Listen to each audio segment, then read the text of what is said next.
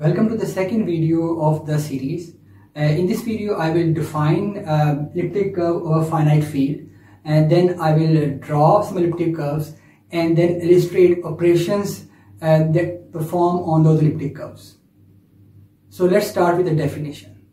Elliptic curves are defined over finite field have following equation. This is uh, y square equals to x cube plus ax plus b mod p.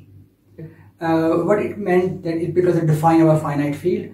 Uh, so let me give an example. So I have a curve y square equals to uh, x cube plus 1 and mod uh, 11 because this curve was defined over finite field uh, f11 so uh, in this case we have chosen a equals to 0 and b equals to 1 so for this curve we have a equals to 0 and b equals to 1 so f11 has uh, following elements. F is a field um, and it has the following elements. We have 0 1 2 uh, till uh, 11 minus 1 which is 10 so if we draw this elliptic curve we have to draw it over uh, real numbers because uh, if we draw it only on these numbers then the curve will not be properly drawn and we will only be able to draw uh, some scatter points uh, however in this case when we say it's defined over this field then we say that we only consider uh, those points on the elliptic curve that points come from this field. For example, in this case, we say the elliptic curve will have following points. Uh, number one, it will have a special point known as imagine, imaginary. And this imaginary point as defined also here is a point which is uh, either on positive infinity or negative infinity. Uh, the use of this imaginary point uh, will be clear in a minute. And second, it will have some other points so in this case, it has points uh, 10, 0, uh, 0, 10, uh, 0, 1, 9, 2,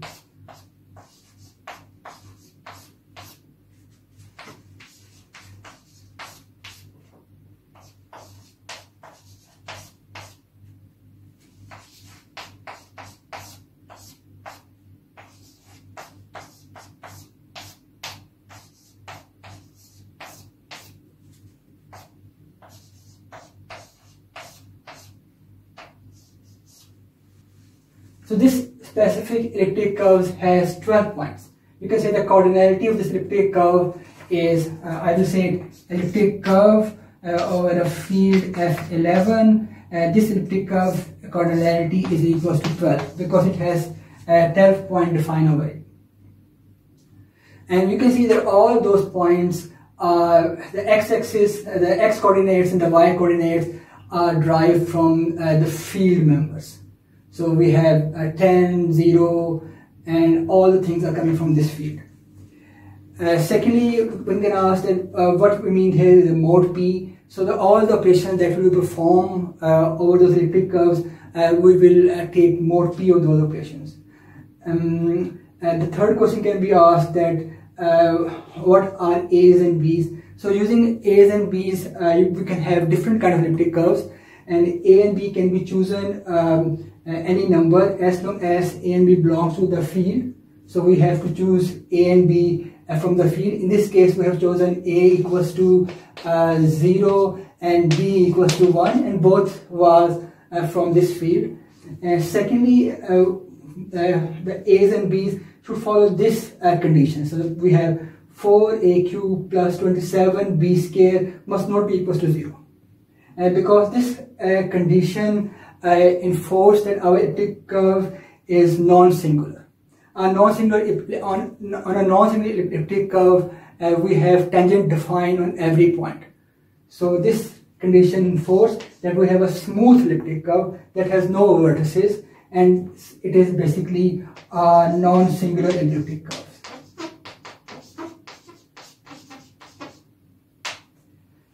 Uh, so you can say that in a curve uh, tangents are not defined when you take a partial derivative with respect to x and partial derivative with respect to y and you have a point on a curve where both of those derivatives come out to be equal to zero.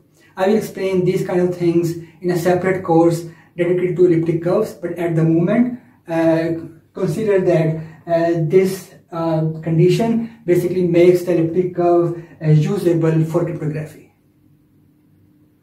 So let me draw some elliptic curves. So I have drawn two elliptic curves. Uh, uh, these elliptic curves might not be drawn uh, exactly like they're supposed to be because drawing elliptic curves on blackboard is a painstaking task. So I will give a link uh, in the description of the video. You should go on that link and draw those elliptic curves yourself.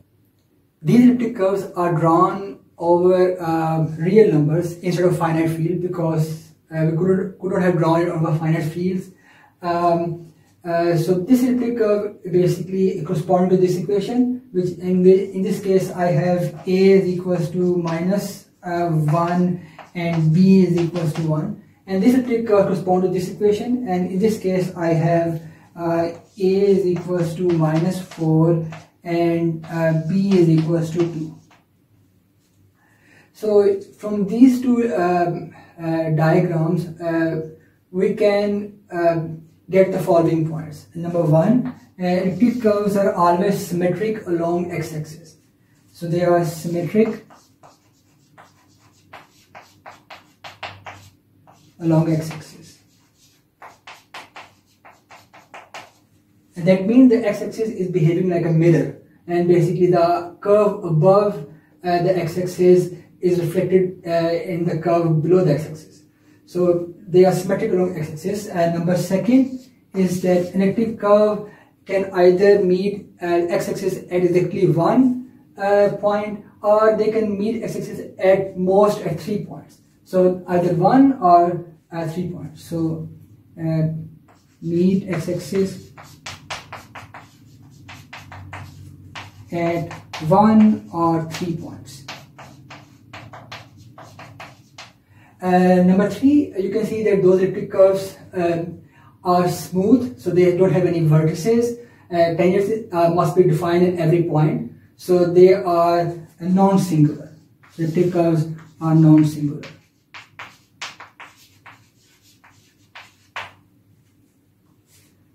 So let's describe some operations on the elliptic curves. The first operation is point addition. So point addition.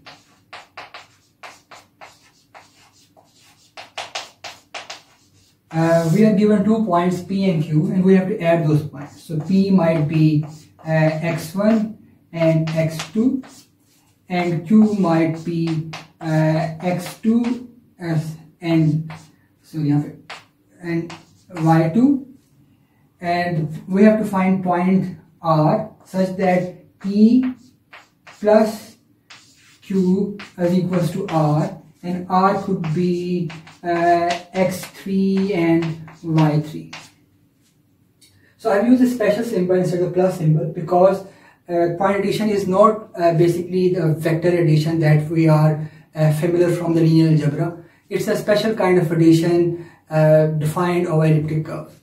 So we the for point addition uh, we use a chord method. So we are going to use chord method.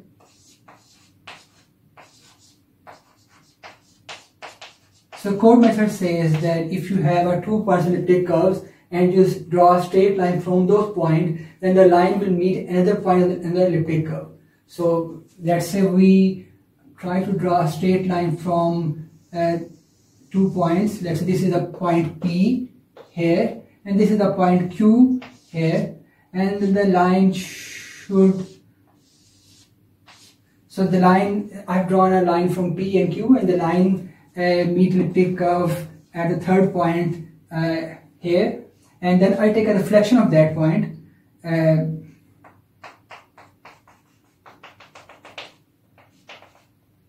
and you can say that this point is defined as uh, P plus Q. So once again, uh, you have to add two points P and Q. You draw a line from P to Q and the line meet elliptic curve at one other point, you take a reflection of that point and you have P plus Q. So let's try the same method on this curve. So in this curve, let's say we have here uh, point P and we have here point Q and I try, I try to draw a straight line from P and Q and the line is not straight. So, um, so I've drawn a line from uh, P and Q and the line meet elliptic at one more point which is here and then I have to take a reflection of that point so the reflection of this point will be somewhere here and this point will be known as uh, P plus Q. And the second operation is point doubling. So we have a point doubling operation.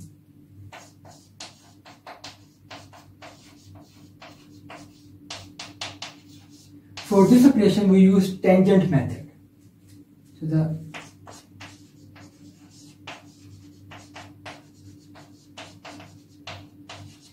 So assume that you have a point P and you have to find 2P. So we have a point uh, P and we have to find 2P. Uh, so what we do, we, um, uh, we draw a tangent from this point and because tangents are defined in every point so we can easily draw a tangent. So we draw a tangent from this point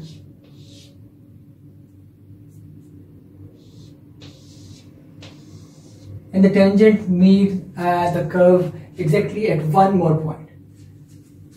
And now we find reflection of that point.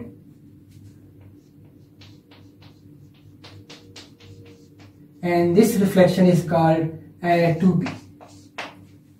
So we can do the same method with this curve. And we have to find 2p on this curve. And once again we draw a tangent uh, to this.